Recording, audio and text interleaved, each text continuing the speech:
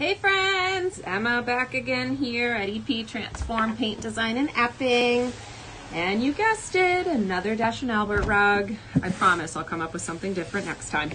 Um, but this week I want to show you the interior exterior woven PET. It is recycled polyester material. This is called Stone Soup. A lot of really fun colors in here. Some grays, some greens, you know, fun. So if you're looking for something with a little bit of color, but not too crazy to kind of tie things together, this one might be a really nice option. This one is listed on our website at exeterpaintstores.com, and you can also come in and see us in the stores to check out the sample in person. Hope you guys are having a great day. If you have any questions, feel free, like I said, to stop in or give us a call in the stores. See ya!